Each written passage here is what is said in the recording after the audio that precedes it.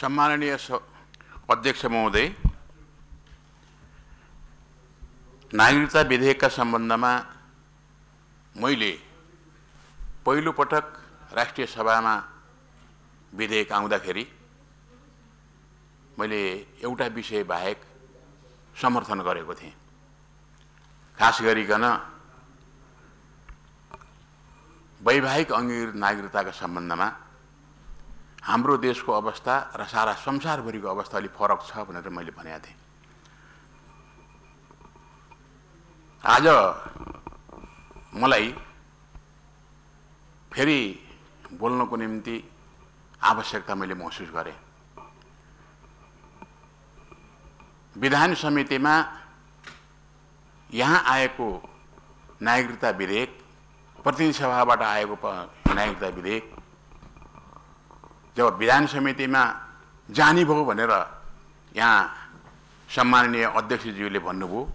म खुसी भएर त्यस बेला मैले व्यक्त गरेँ। राष्ट्रिय सभा वास्तवमा राष्ट्रिय सभा जस्तै आज हुँदैछ। किनकि मैले राष्ट्रपति महोदयबाट फिर्ता पठाइएको सन्देशसहित फिर्ता पठाइएको नागरिकता सम्बन्धी विधेयक सम्बन्धमा प्रतिनिधि सभामा जसरी कुराहरू उठे ती सुन्न पनि नसकिने खालका रहे। म कुनै एउटा पार्टीको सदस्य भएर बोलिरहेका छैन। म कतैतिर लगाव राखेर बोलिरहेका छैन। तर राष्ट्रपतिप्रति गरिएको व्यवहार बदलाले भाव बदलाको भावनाले प्रेरित मैले पाएँ। त्यसो गर्न हुन्न थियो। र त्यहाँ भनियो जसरी उहाँले यत्रो समय लगाएर अनि सन्देशसहित पठाउनु भएको छ हामीले जसरी प्रतिनिधि सभाबाट पास गरेर राष्ट्रपति कहाँ प्रमाणीकरणको निम्ति पठाएको थियौँ त्यस्तै जस्ताको तस्तै हामीले पास गर्नुपर्छ। त्यति मात्रै होइन। राष्ट्रपतिको सन्देश यो निबन्ध हो। यो कलेजको निबन्ध हो। कलेजका विद्यार्थीहरू लेख्ने निबन्ध हो। अनि त्यस किसिमका टिप्पणीहरू धेरै भए। र राष्ट्रपति कुन समूहसित कुन पार्टीसँग कुन समुदायसित सम्बन्धित हुनुहुन्छ भनेर भन्ने मुख्य विषय होइन। राष्ट्रपतिको सम्मान गर्न हामीले जान्न पर्दछ। होइन भने राष्ट्रपति प्रणाली हटाइदिनुपर्छ। मैले विधेयक संसद विघटन गर्ने तत्कालीन प्रधानमन्त्रीको निर्णयलाई त्यो विधेयकलाई तपाईँले दुई घन्टाको निम्ति भए पनि क्याबिनेटमा फिर्ता पठाइदिनुहोस् मैले यो बोलेरै उहाँसित भेट गरेरै भन्न चाहेको थिएँ। मैले भेट गर्न पाइनँ त्यस बेला मैले धेरै कानुनीविदहरूसित संविधानविदहरूसित सोधेका थिएँ। राष्ट्रपतिले त्यसो गर्न सक्नुहुन्छ। यसमा लेखिएकै छ विधेयकमा। तर अध्यादेशमा पनि त्यस्तो किसिमको लेख्न सकिन्छ। त्यसरी फर्काउन सकिन्छ। त्यो अन्तर्निहित अधिकार हुन्छ। जब विधेयकलाई कानुनलाई पुनर्विचार गर्नको निम्ति भनेर भन्न सकिन्छ अध्यादेशलाई पनि त्यसो गर्न सकिन्छ। भन्ने मेरो मान्यताले मैले यो भेट गर्न पाइनँ मैले सूचना पठाएँ। र उहाँले त्यो सूचना पाउनुभयो। मैले सूचना पठाएको केही केही घन्टापछि त संसद विघटन भएर आयो। र मैले यो प्रधानमन्त्रीले राष्ट्रपतिलाई दुरुपयोग गरेको हो भनेर मैले मेरो टिप्पणी राखेको थिएँ।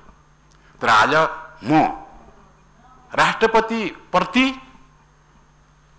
प्रतिनिधि सभाले व्यक्त गरेको विचार प्रतिनिधि सभाका ज्ञाताहरूले व्यक्त गरेको विचार मलाई राम्रो लागेन। त्यो अपमानजनक मैले ठाने। र जब विधान समितिमा गयो राष्ट्रिय सभाबाट त्यहाँ जस्ताको तस्तै फर्काउनुपर्छ राष्ट्रिय सभामा लैजानुपर्छ र पास गराउनुपर्छ भन्ने आवाज त्यहीँबाट आयो। मैले हिजो जब फर्किएको सूचना चाहिँ प्राप्त भयो राष्ट्रपतिले सन्देशमा दिनुभएको हरेक बुँदा बुँदाको जवाफ आउनेछ भन्ने ठानेको थिएँ मैले। आज हामी जुन मान्यतामा यो पास गर्दैछौँ त्यस मान्यतामा नै फर्कन पर्ला। तर ती सन्देशहरू हामीले सुन्न पनि नसुनिकन विश्लेषण पनि नगरिकन त्यसप्रति प्रतिनिधि सभाको विचार के हो? सन्देशको एक नम्बर बुदाप्रति प्रतिनिधि सभाको विचार के हो? दुई नम्बरप्रति के हो? पाँच नम्बरप्रति के हो भनेर भन्ने त्यसरी विचार विमर्श गरेर त्यसलाई त्यत्तिकै सम्मान गरेर विचार पठाउन सकिन्न थियो अनि राष्ट्रिय सभाको विधान समितिले पनि के त्यसै गर्न सक्दैन थियो अनि जस्ताको तस्तै पठाउन मिल्थ्यो पर्थ्यो। त्यो आफ्नो अधिकारको मेरो विचारमा बौद्धिकतामाथि हमला। छलफल गर्न पर्थ्यो। हरेक विषय मैले ती सन्देशहरू पढेको छु।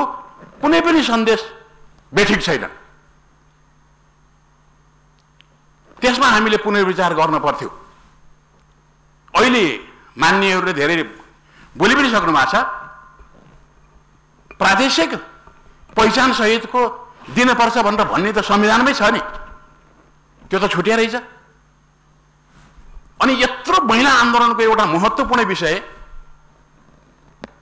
आमाको पहिचान कसरी कायम गर्ने भनेर भन्ने विषय हामी धेरै धेरै उपलब्धिहरू हासिल गरिसकेका छौँ।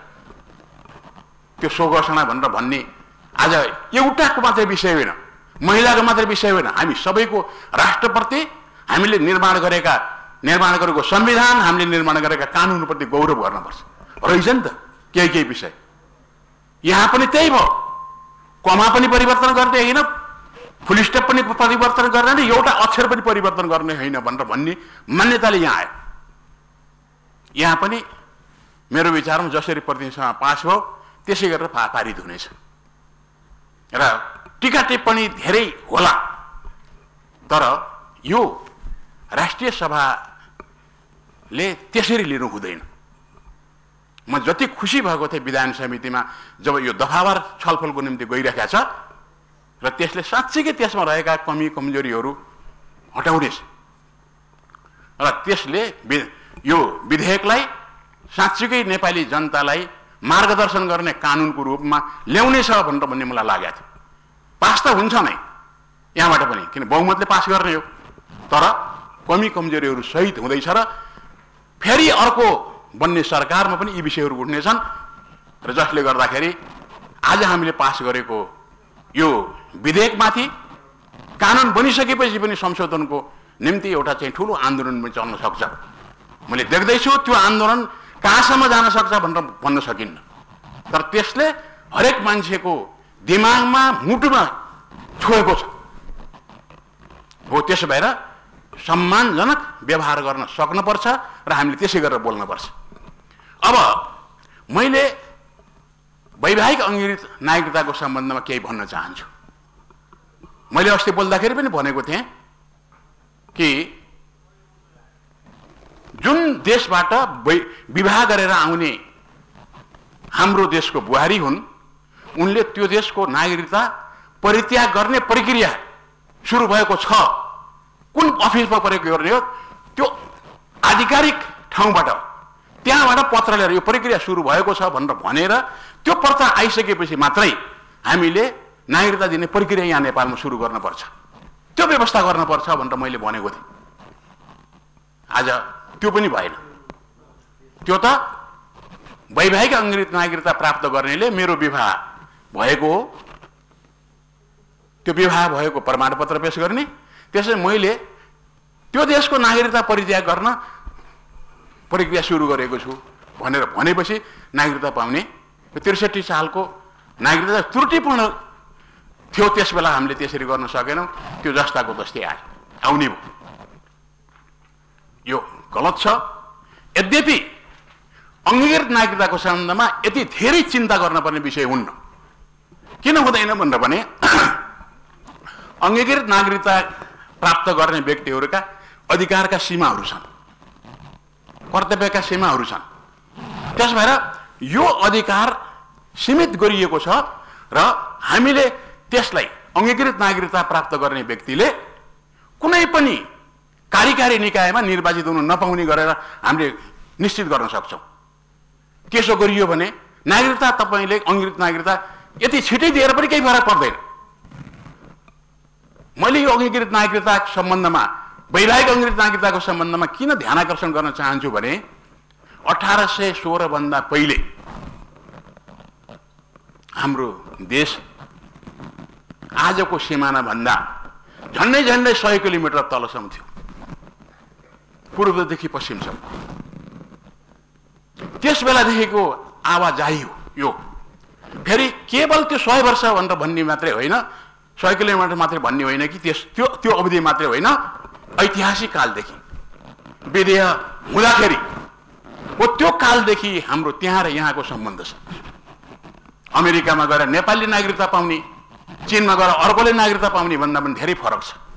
त्यसो भए राष्ट्रिय सभाका हुन् कि प्रतिनिधि सभाका सदस्यहरू हुन् कि जो विज्ञ नेपालीहरू छन् जो इतिहासविद छन् उनीहरूले यसको सम्बन्धमा ज्यादै संवेदनशील भएर सोच्नु पर्दछ किनकि हाम्रो सम्बन्ध भारत जन्मिएको धेरै पछि उन्नाइस सय सत्तालिसमा नेपाल त यो राज्य बनेकै चार हजार वर्ष पहिले हो आजभन्दा त्यस बेलादेखि नेपाल छ। त्यहाँका जनता र यहाँका जनता त्यसभन्दा पहिलेका राज्यहरूसित भएका सम्बन्धहरू यी सबैलाई चाहिँ तपाईँले केलाएर हेर्नु हाम्रो सम्बन्ध त्यस्तो छ। त्यो सम्बन्धलाई समेत ख्याल गर्दाखेरि हामीले अरू देशको भन्दा फरक किसिमले सोच्नै पर्छ। नेपाली भाषा र त्यहाँ बोल्ने भाषाहरू एउटै भाषा हुन् संस्कृत भाषा हुन्। यो हामीले बोल्ने नेपाली भाषा जो मातृभाषाको रूपमा छ यो संस्कृत र त्यो संस्कृतिको बिचमा केही भिन्नता छ। उत्पत्तिको कारणले त्यसमा प्रभाव परेको कारणले अरू भाषाहरूको प्रभाव परेको कारणले केही फरक छ। तर एउटै हो। एउटै व्याकरण हो एउटै शब्दहरू हुन्। नाता सम्बन्ध एउटै छ। यी सबै सबैले बताउँछ कि हाम्रो संस्कृतिको जड एउटै हो र कालान्तरमा गएर एउटै हुन्छ। आज जति जति फरक केही केही देखिन्छ त्यस्तो छैन। हो त्यसो भएर त्यो वैवाहिक अङ्गीकृत नागरिकताको सम्बन्धमा हामीले ख्याल गर्नुपर्छ र त्यहाँ र यहाँको बिचमा म काठमाडौँमा बसेर बोलिरहेको छु यो सभाभित्र। तर मेरो बोली त्यहाँ पनि पुग्नुपर्छ। पुग्छ। त्यहाँका जनता ऐतिहासिक कालदेखि कसरी चाहिँ आए भन्ने विषयलाई हामीले ख्याल गर्नुपर्छ। जहाँसम्म नेपाल राष्ट्रिय राष्ट्रको स्वतन्त्रताको कुरा हो सारा संसार कब्जा गरेको बेलामा अङ्ग्रेज साम्राज्यवादसित भारतका छ सय राज्यहरू ध्वस्त भइरहेका थिए। आज डेढ खर्ब जति जनसङ्ख्या भएको भारतका भिन्न भिन्न छ सय राज्यहरू एक एक गरेर ढलिरहेका थिए। तर नेपाल ढल्न सकेन। हालाकि हाम्रो भूभागको दुई दुई तिहाई हिस्सा गयो।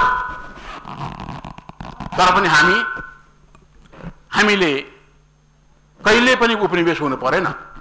उसको अधीनमा रहन परेन र अङ्ग्रेज साम्राज्यवादलाई दुई वर्षसम्म टक्कर दिने नेपाली वीर योद्धाहरू संसारमा त्यस बेला कुनै देश पनि थिएन। कुनै देशका सेनाले साम्राज्य अमे बेलायती साम्राज्यलाई त्यसरी टक्कर दिएको थिएन नेपालले दिएको थियो। नेपालसित त्यस बेला बिस हजार सेना मात्रै थियो उसित लाखौँ सेना। तर पनि त्यो सेनाले बाध्य भएर सम्झौता गर्नु पर्यो। सम्झौतामा धेरै गुमाउनु पर्यो। पछि जाने बेलामा ब्रिटिस सरकारले तिम्रो गुमेको भूमि माथि दाबी गर हामी तिमीलाई फर्काइदिन्छौँ भनेर भन्दाखेरि पद्म शमशेर र मोहन शमशेरले त्यो आँट गरेन। गरेको भए के हुन्थ्यो त्यो त भएन। परिकल्पना नगरौँ। तर कुनै बेला त आउला नि यस्तो किसिमको। हामी पनि त्यहाँका जनता। हामी पनि यहाँका जनता त्यहाँका जनता भएका थियौँ। नेपालै थियो यहाँसम्म भनेर भन्ने ठाउँ पनि बिने दिन पनि आउला। आउँदैन भनेर कसरी भन्न सकिन्छ। त्यसो भएर यी सबै विषयलाई चाहिँ हामीले ख्याल गरौँ। अङ्गीकृत वैवाहिक नागरिकताको सम्बन्धमा यत्रो समय राख्नुपर्छ। त्यसपछि मात्रै दिनुपर्छ। राष्ट्रियता बच्छ भन्ने सम्बन्धमा अमेरिकाले विचार गर्न सक्ला भारतले त्यसो गर्न अरू सबैले गर्न सक्ला तर हामीले गर्न हुँदैन। हामी त्यो ठाउँका जनताको निम्ति कुरा गरिरहेका छौँ जो एकपटक नेपाल थियो। र त्यहाँ र त्यहाँको बिचमा एउटा मैत्रीपूर्ण दिलेरी सम्बन्ध थियो। त्यहाँबाट त्यही ठाउँबाट यहाँ काठमाडौँमा आएर बसोबास गर्ने आज नेवार भएका छन् तर धेरै धेरै मानिसहरू आएका छन् पुस्तौँ पुस्ता बसेका छन्। यसरी घुलमिल भएको समाज हो। त्यस भएर यो समाजमा त्यो हामीले विचार गर्न पर्छ। त्यो त्यो फिजी बन्ने होइन। त्यो अरू कुनै ठाउँ चाहिँ बन्न चिनसित त्यो सम्बन्ध छैन हाम्रो। तर त्यहाँ ठाउँ त्यो ठाउँको सारा भारतभरि होइन। तर त्यो ठाउँ जहाँबाट अहिले पनि रोटीबेटीको चलन छ रगतको साइना छ नाताको साइना छ। त्यो आज हामीले बनाएको होइन। त्यो पुस्तौँ पुस्ता नेपाल जन्मदादेखि लिएर आजसम्म विलिया राज्यको अस्तित्व सम्भवतः इसापूर्व सात सय वर्ष पहिले थियो। त्यस बेला पनि नेपालको राजा र त्यहाँका राजाहरूको बिचमा सम्बन्ध थियो। त्यस बेलादेखि आजसम्म हामीले सबै ऐतिहासिक विषयवस्तुहरूलाई केलाउँदाखेरि पनि त्यो सांस्कृतिक विरासित हामीसित हुनु पर्दैन। हो त्यस भएर हामीले यो सबैलाई विचार गर्नुपर्छ र मैले त्यसलाई पास गर्नपर्छ फर्काउनुपर्छ जस्ताको जस्तै पठाउनुपर्छ भन्ने भन्ने विषयलाई मैले मेरो विचार यो छ भनेर भन्दैन। तर म भन्न चाहन्छु कि जस्ताको तस्तै पठाउने काम अहिलेको राष्ट्रपतिको अपमान हो र त्यो राष्ट्रपति पदको अपमान हो। राष्ट्रिय सभाले कमसेकम ती हरेक बुँदाहरूमा आज तपाईँ जे गर्दै हुनुहुन्छ त्यही निष्कर्ष निकाल्नुहुन्थ्यो हामी थियौँ त बहस गर्नु। त्यो विधेयक समितिमा किन बोलाइएन हामीलाई? ती अत्यन्त ग्रहणीय छन् कतिपय विषयहरू। शिक्षा लिने किसिमका छन्। हो त्यस भएर जस्ताको तस्तै पठायौँ भनेर गौरव गर्ने विषय होइन यसमा ख्याल गर्नुपर्छ पुनर्विचार गर्नुपर्छ। ध्यानकर्षण गर्दै यो सभाको ध्यानकर्षण गर्दै मेरो भनाइ यही अन्त्य गर्छु। धन्यवाद। माननीय सुमित्रा बेसी